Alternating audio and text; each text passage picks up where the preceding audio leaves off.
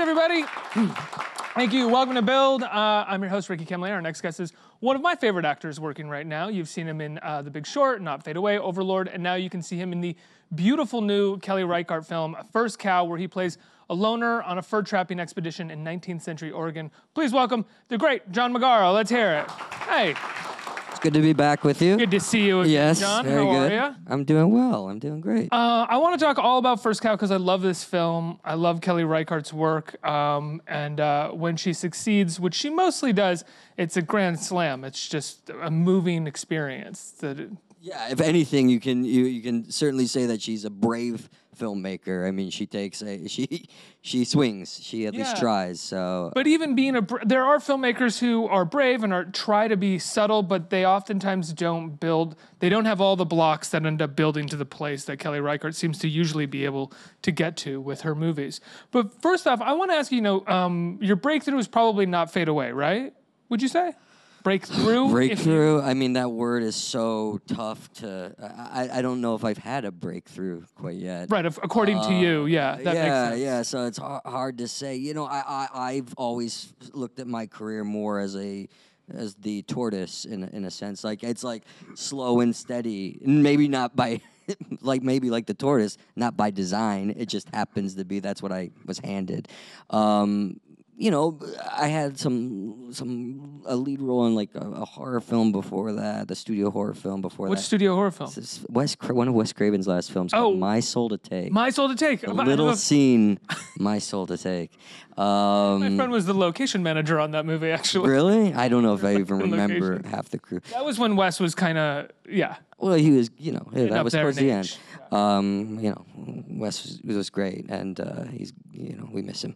Uh, and then, uh, yeah, not fade away was a, a kind of another ch- chance to, to take a swing, and but it's it's always been slowly and progressively moving along and trying to find the next thing. But it seems like great directors seek you out, or do you seek out great directors to work with? I, I I don't think it's either. I don't think it's me seeking out great directors or them actively seeking me out. I think it just so happens that uh, you know a script will will be written and and by a miracle get produced because I think any film being made is kind of a little miracle, uh, and then just by by by coincidence or, or maybe it's serendipitous i don't know we just end up together uh, you know I, I believe that as an actor as anyone who's creative you, you sort of there's an element of like the law of attraction where I mean, it's just it's just kind of common sense. You're going to have a connection, and you're probably going to be a little better in your meeting and your audition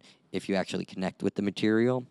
And uh, I, I just have connected with these stories, so you know maybe that's part of it too. so talk to me about a meeting with Kelly Reichardt to be in this film. You are in every frame of this film, by and large, right? You and Orion Lee, Uh, and Yeah, and a lot of trees and the And cow, and you know, yeah. yes, you share you share it with nature a fair amount. I just but- saw these articles that have just kind of started dropping on the services about uh, about the s- true star of the movie, The Cow, which she is. I mean, and I guess Kelly was saying, you know, like any movie poster, the most beautiful female gets on the poster, and Evie is our most beautiful female. So there she is. Um, this came about. Uh, it was kind of weird. Like I, I got a I got a the script from my manager and agents. Uh, they were on the hunt, I think, for a cookie, and um, I worked with Scott Rudin a few times. We have a nice relationship. He's a wonderful producer. Um, I'd also worked with Todd Haynes on Carol, and Todd and, and Kelly have a very close relationship. Uh, and uh, I think my name got brought up, and, and, and Kelly was interested, but she wasn't quite sure because if you look at a lot of the work I've done, it is not of this world. It's you know not a western. It's it's sometimes period, but it's not this necessarily this far back into history. Overlord was period, but Overlord's period That's was kind of like you know, stylistic and and Uh, yeah, and I live a lot in the films I do. I live a lot in in the 40s or the 20s, you know, East Coast sort of that that world, uh, which which I guess my this mug lends itself to. Uh, but this, you know, she was she, she was intrigued but wasn't quite sure. We sent her this short film I did uh, called The One Armed Man that uh, great actor director Tim Guinee put together. It's based on a Horton Foote short play of his set in East Texas, early 1900s, about you know the cotton mills down there, and this guy who loses an arm. Um, similar kind of character, very introverted, very quiet, but much much more aggression underneath. Um, but I think after she saw that, she felt really, you know, confident about bringing me on board. We had a lovely Skype meeting, which is kind of all that's done nowadays. Every feels like everything is Skype or or FaceTime or you know stuff like that. This That is such a huge leap of faith of me, in, in my opinion. I mean, even though your work, like I think someone could see your work and just be like, "This guy's great," but at the same time, just the Skype meeting and then like you show up to set. Kind of, yeah. A couple days. We were there a couple days before, and and we did this little boot camp type thing. Uh, but but yeah, it's trust. But you know what I will say? I I think the great directors out there, they know they know pretty soon. They don't need a lot of a lot of fluff and a lot of you know extra stuff to help them make up their mind. Um, they're pretty good at trusting their instincts. Uh, and I also think Kelly just didn't want to sit in an audition room for for like how many God knows how many hours watching a million people come in and read the same lines. So you show up. I mean, I, I was reminded when I was watching this of your performance in the Richard Nelson play that I saw you in, which is uh, a play that I love by a playwright that I just think is one of the greats working, but similarly, very subtle, doing everything uh, aesthetically to make the audience lean in to hear what's happening. Had Kelly seen that? Did you guys talk about that? that No, work at all? I, I don't. I don't know if Kelly is even aware of Richard's work, but the word that Richard always uses is verisimilitude, and I think as a filmmaker, maybe Kelly is one of the most. Uh, uh, you know, successful directors at achieving that. Um, it's a very similar style. Um, you know, I, I'm always striving for authenticity and honesty in the performance. Um, but the way that Kelly and Richard kind of go about it is is almost supremely honest. It's it's very strange. It's, it has a slower pace. It's really about listening and and and you know finding the words that you're going to say. But a lot of that is just you have such great. Richard does it. She does it. You have great material to work with that you can kind of just let it wash over you and just just say it and be present. It's really it's really freeing in a lot of ways. But you don't rehearse at all, really, on a on, on a film like this, right? No, no, I wouldn't say you rehearse. You, uh, uh, not many films that I've been a part of involved much rehearsal. How do you find? I mean, because I've always I've always found actors upon first getting the script move quickly, right? There's the it takes a little while to get to that place where they'll be willing to slow it down and and and really kind of discover things between the lines. Initially, it's like line, line, line, line, line. Yeah, I, I mean, I think you have to have a, a, a, trust and a confidence to, to, to do that. You know, you're sort of acting without a safety net in a sense. You know, you- you're a lot, a lot of the times in movies that we watch, popular film or traditional television and film, it's about pace and speed, and, and you don't want to ever have like a dead air, a dull moment. Um, and I, you know, it makes sense. You want to keep people entertained and engaged. So it, it, is a very bold move to, to sort of let the silences play and, and, and let the quiet live. But I also think that this sort of world lends itself to that. You know, you're in 1820. This is pre uh, technology, pre internet, pre pre every pre radio, pre everything, right? Uh, I can't imagine that these people were constantly talking to each other. I have a feeling there was probably a lot of silence and a lot of silent moments and introspection uh, during that, that time. Ran out of things to talk about pretty quickly. I- I think did so. you read this article? Did you see this? I mean, we do it now. It's it's we run out of things to say, and then we're like, okay, I'll just look at my phone for twenty minutes. I mean, uh, How does she communicate to you when you get on set those silences, or how to find that place as an as an actor, or is it in the script? Is it built in? I, I she I don't think she ever really said like be silent, don't speak here. Uh, I think she just encourages you to l- live the situation and not try and rush or force anything, and uh, that's pretty much how it how it happens. And even in moments where, I mean, is there just a sense of a, the tone of the film as soon as you start shooting, where then you follow that guide? Because I think of a moment where Toby Toby Jones, right? Is that the actor? Toby Toby Jones. Yeah, Jones, great where actor. you are feeding him the the biscuit for the first time.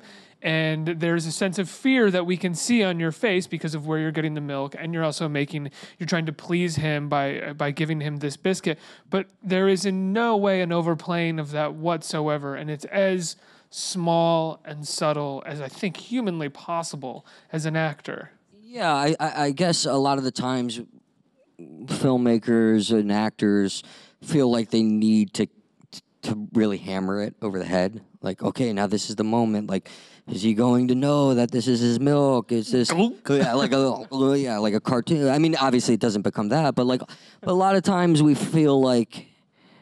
A lot of times you feel like eh, a lot of times filmmakers don't trust the audience. I would say uh, Kelly trusts her audience. She she she has a tremendous respect for her audience. So she she never feels like you have to knock them over the head with every plot point and every uh, emotion or every every single thing that you're feeling. She allows you as a viewer to interpret what's going on. Um, uh, as does Richard Nelson as a, as a as a um, playwright and as a director of theater. Um, you know, it's a, it's an exciting exciting way to work. I find I find it very freeing and liberating. You know. You don't miss any sort of that sense of like being a New York City actor that's going to bring it out. Well, I, you know, I, I, there's a time and a place for that. Um, even Overlord is a very di- that's much more like over the top comic book esque type of thing. Uh, I like having variety. Um, it also depends on the type of character. You know, Tibbet and Overlord is this loudmouth, smartass, aggressive, you know, guy. Uh, so that lends itself to being a little more overt. Whereas Cookie is is not that at all. You know, Cookie is af- afraid he wants to be as blank a slate as possible because he doesn't want to disturb the the the you know atmosphere around him.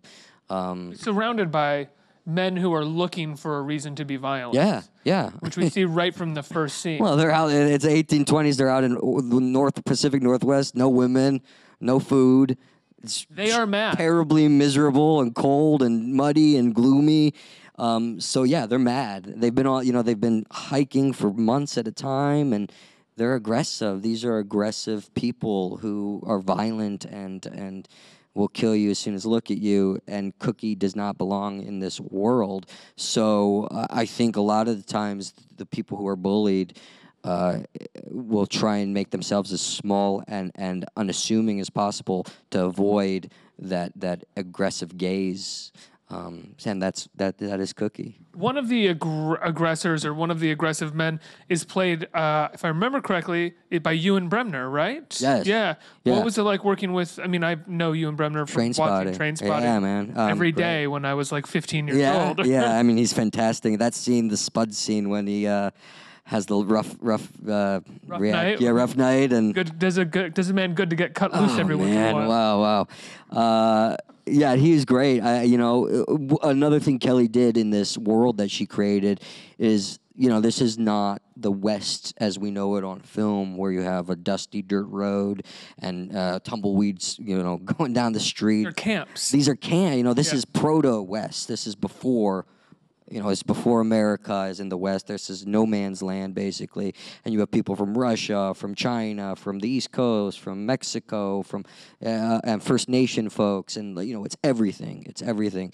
And uh, in doing that, I think Kelly tried to draw as as wide, you know, cast as wide a net for the the people who were in it, including a, uh, that you know Ewan with an intense Scottish brogue, who um, is really you know intense in his role. He, I mean, he's sort of like the lackey for Toby Jones's character in a way. I always remember Ewan as well from uh, Mike Leigh's Naked as well. yeah, yeah. Those where he, He's great. He's Yeah. a fantastic actor. uh, and Orion Lee, uh, Orion Lee, excuse me, Orion, Orion, like the Orion Lee. constellation. Yeah, who was just here, and I should remember his name. Uh, you guys had a boot camp prior to getting started. What was that? What was that like?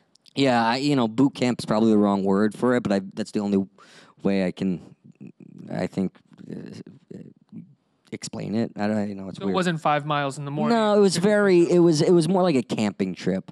Um, you, uh, ca- I, I, when when I was heading to Oregon to start shooting this, uh, I was talking to Kelly about Meeks because at that time Meeks was Meeks Cutoff was sort of my reference point. I. I I imagined that this was going to be kind of like Meeks. This has turned out to be very different. It's a much more personal, uh, uh, uh, um, quieter, even uh, smaller story in a way. Um, so I sort of asked what, what they had done, if they had done anything, and she mentioned that they did a little frontier, like like 1840s. There's like an actor, right, who's like a performative frontier. well, I don't know who did theirs. Oh, I but thought they that they Orion told me probably probably something like that, and they like did a little. Perf- yeah, you you probably know about it more than than I do actually. But they did that, and and I was like, well, can we do something similar to that? And she found a reenactor, Yes, yes, from Idaho, who who who focuses on you know Lewis and Clark, early 1800s to the you know the Hudson Bay Company and the fur trapping companies who were out there. He took us out in the woods in outside of Portland, and we we for you know he taught us how to forge. He taught us how to skin an animal, how to cook in that style. Did you skin A muskrat, a oh, Okay. roadkill muskrat a roadkill? thing he like- ran over. It was disgusting. And then we ate it, and it was terrible. gamey, I'd imagine. Oh my Just, god, like it really was tough. god awful. I'd never eat that again. I was like, ugh.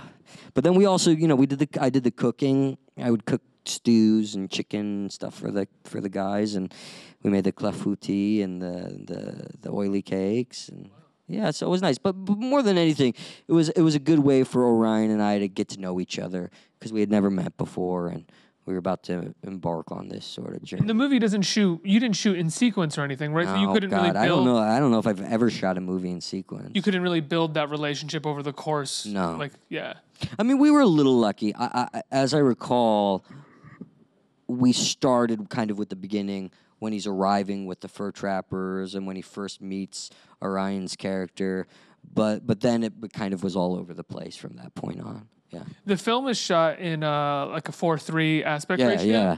Uh, it's beautiful. Um, Christopher Blauvelt, yeah. brilliant cinematographer. Yeah, he's amazing. He's he, absolutely he shot uh, "Don't Worry, He Won't Get Far on Foot," the last Van Sant Yeah, film. he's- so he's- fil- film looks beautiful. he sort of is like you know I, I don't want I, I might be speaking out of turn, but it seems like uh, Gus Van Sant is sort of now using him more and more. Uh, uh, Chris studied with Harris Savides, brilliant cinematographer. Yeah. Who uh, who uh, worked with Gus as well. So I think they had a Gus and Fincher, right? Yeah. yeah, so I think they had a relationship, and now Chris is shooting. But Chris is absolutely brilliant. I mean, this thing was shot on an Alexa, and it looks like it's 16 millimeter because of the what they were able to do with it, with the lighting and with the post, and uh, and, and the aspect ratio, obviously.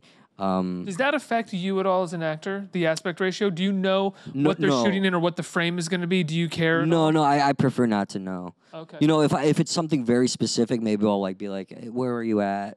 But but like, eh, I don't need to know where you're cutting the sides off, really. Um, and I try not to know that. I I, I don't I don't want to really be thinking about that kind of stuff when Mm-hmm. when it's when it's rolling. Yeah, What are you thinking about when it's rolling? like Just when lunch is, when I'm gonna get to go home, stuff like that. Yeah, you know, normal stuff. I don't. I don't. you just want to be open to whatever the other person's Yeah, doing. yeah, so therefore, you have to be thinking like a normal person. You yeah, think- if you yeah. think too hard about like what your character wants or what's happening, Oh, I right? think You'd that's a terrible. I think that's uh, not to like. Listen, I was there as a young actor. I I, I went to theater school and stuff like that, and uh, unfortunately, I think you know you learn a lot of stuff that you kind of have to throw away because it becomes far too analytical, and and you can't be you, you can't tell a story if you're you're if you think you're in a classroom. When did you when did you learn that it had to get thrown away? You know, I had heard that from people even when I was in school. Um, I think we we we um we we sort of embrace that when we're studying and young more because like I, like I was saying before safety net it feels like a safety net it's almost like well if it doesn't work then I have the that to blame, kind of, because you feel like you have this this map almost. Um, I can scream theory at people all the time. Yeah, yeah, Even though I'm not working, I can just yell about theory. Kind of, kind of. But but I, I I feel like I I don't believe that there is one style. I think every actor, as well as every director and writer and whatever, has to discover their own way they do it. Um, and and and that's what it is. And I think as you you do more and more, you realize that because you're able to watch your work back, you're able to see what works, what doesn't work, and a lot of the time at the end of the day, what works is you just being as present and just as relaxed and open as possible. Like knowing your lines and then hanging out and getting ready to work. Well, I, I mean, in a, like in a very like uh, a very um, I don't know, I don't want to poo poo what you just said, but like that's in a very like simplified way, Yeah. yes. Um, but that, again, that very you know, I know actors who all day long are listening to music. I know people who are reading. I know people who are just pacing around, smoking you know two packs of cigarettes. Like you know, like everyone is everyone is different. Um, and some people like to hang on to that kind of stuff too. Uh, it's it's really whatever it takes for you to get there uh, and uh, and and be present and, and be there for your other actors and, and director and you know For you, uh, what it takes to get there and be present is that just sort of keeping it easy and keep staying relaxed.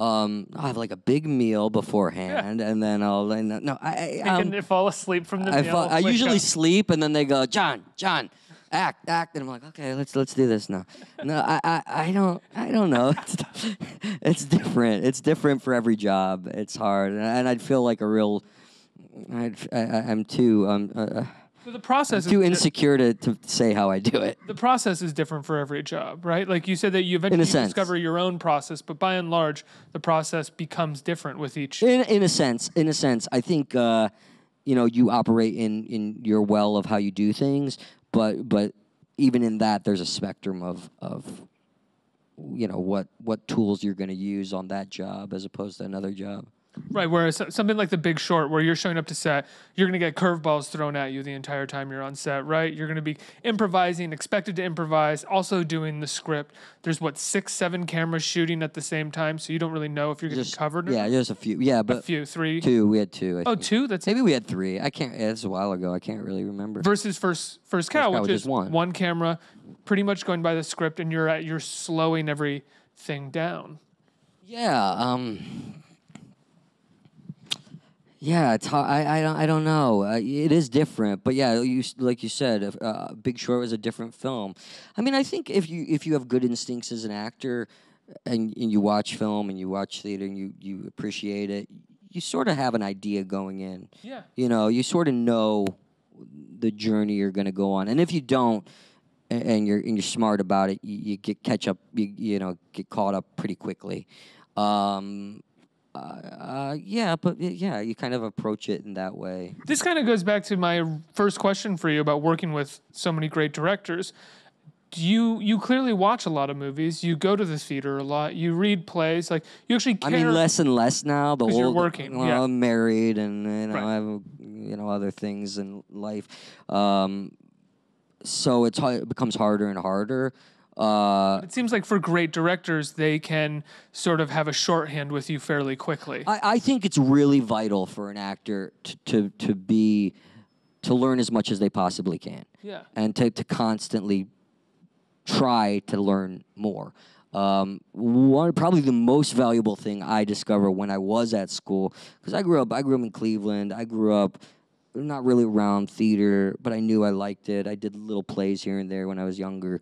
Um, and what school gave me an opportunity to do more than anything else was sit for four years and read every great play from from the past and watch all those movies that I had had missed um, while I was watching just like you know the same movie over and o- comedy over and over again as a high school kid. Um, some kids, some some students, some people are more fortunate that they get a head start on that. Uh, for me, I didn't. So it was really important for me to have those years to to to form a foundation of knowledge.